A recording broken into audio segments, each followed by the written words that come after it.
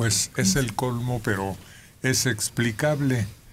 La crisis en Venezuela ha provocado que vacas y caballos de la Facultad de Veterinaria sean robados para vender su carne. Varios casos. Los animales se usan para prácticas de los estudiantes y son cuidados por personal de la universidad. Pero los ladrones entran de noche, los matan y solo dejan huesos y piel. Ganaderos de todo el país en Venezuela se quejan de que sus rebaños están enfrentando la misma suerte. Reportes de medios locales muestran grotescas imágenes de animales descuartizados. Pequeños grupos de hombres fueron sorprendidos contrabandeando la carne de caballo robada para consumo humano. Está dura la situación. La sobrevivencia terrible. ¿Quién sabe cuáles sean los verdaderos orígenes de una crisis tan severa en Venezuela? Y quién sabe si sea una exageración o si haya el hambre y la necesidad de conseguir carne. Yo viví en un lugar donde había avestruces y en Navidad desaparecieron. Y no es que en la ciudad tuviera hambre, sino que alguien se pasó y se robó las avestruces y muy probablemente terminaron cocinadas. Acuérdense, aquí en el sitio de Cuautla se acabaron hasta los perros. Las ratas. No se retirará la invitación a Maduro. El vocero del nuevo gobierno dice que a menos que se rompieran relaciones diplomáticas, no van a retirar la invitación.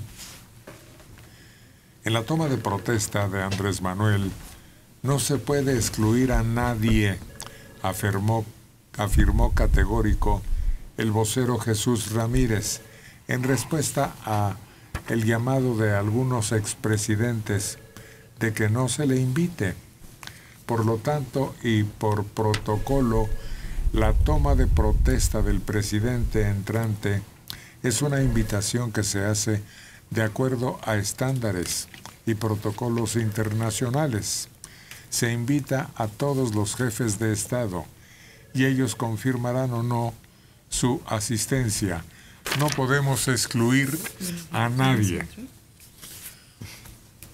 ¿Cómo se llama? Se había dicho que Venezuela había llegado ya en anteriores tomas de posesión de presidentes, tal vez sean los dos últimos, ¿no? O tres últimos. Bueno, con Álvaro Uribe había una muy buena relación. Dígame. El anterior a Álvaro Uribe. Pero es Venezuela. Venezuela. Ay, sí, es cierto, eso es Colombia. Venezuela, y aquí no hemos visto, solo la decisión de que viniera Trump, la confirmación cambiaría.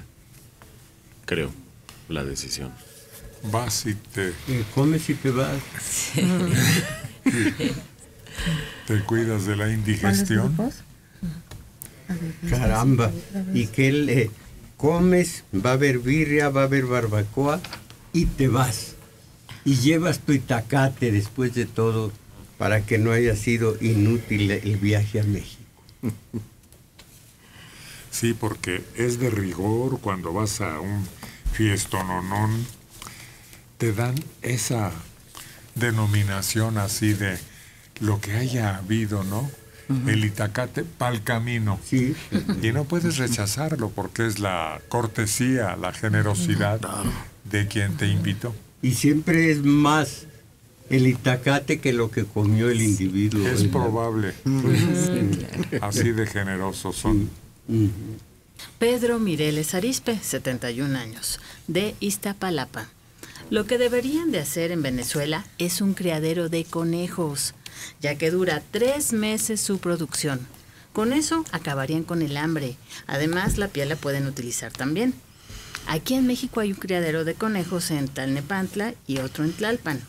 Deberían de darles el número para que Venezuela se ponga en contacto con ellos y terminen con el hambre. ¿Dónde que se reproducen con una frecuencia? conejos. Ándale, sí. Como jóvenes, dicen ahora. Sí. Rumbo a Mecameca, todos los comercios de, de fritangas tienen como ingrediente principal el conejo. En adobo. Yo nunca lo he probado, pero dicen que es bueno. Ay, Uy, es excelente. Yo tampoco me he atrevido, siento horrible. ay, Me lo imagino y me da una ternura infinita y no puedo. Ya está cocinado, ya no se le ve. ¿Y con la vaca no te pasa? No me pasa. El eslogan me gustaba, no se haga viejo, coma conejo. Pues yo sí he sabido, cuando les cuento que me dieron a comer serpiente, que eso comía, también la ternura me hubiera hecho. Sí. Es que, es que no lo has visto. Mira, te presentan el conejo en un plato doradito, crujiente, calientito. Y luego te ponen junto un, un plato de frijoles de la olla. Le puedes poner su chile y su cebolla y sus cachitos de chicharrón. Y luego unas tostaditas, las tortillas tostaditas con la misma salsita con la que está el. Y si no quieres eso, hay ¿Cómo se llama usted? quesadillas. Sí. Eso. Sí, sí, de flor de calabaza o de de hongo. Hongos, queso y michotes. Son una delicia, pero el conejo no es Pero hay que crujiente. detenerse ahí. Es La- una carne blanca, pura, sin grasa, muy sana y suavecita como algodoncito se deshace en la boquita la piernita del. Ay, no. La misma situación de ayer. No he desayunado. No hagan esto. Además las salsas Eso. de tres colores y distintos sabores, eso sí con una agresividad. Ah, eso En el Estado de México se come picante, pero con ¿En fe. serio? El puro lugar. Llega uno y dice, ¿qué es eso? ¿A qué huele? Ah, es el aire fresco. Es que es a la parrilla todo lo que estás consumiendo y alrededor campo traviesa. Pleno. Y es muy sana, es de las carnes más sanas que hay, que existen. Magra, Sí. le llaman. Totalmente. A mí me llevaron a comer a Juchipila, en las orillas de Juchipila, y oí una frase de, del chofer que nos llevó en la camioneta, que estaba él y estaban todos comiendo carne. Yo no comí, no sé por qué. Estaban comiendo carne y dijo uno de ellos, el chofer, ¿por qué no podré volver para volver a desayunar?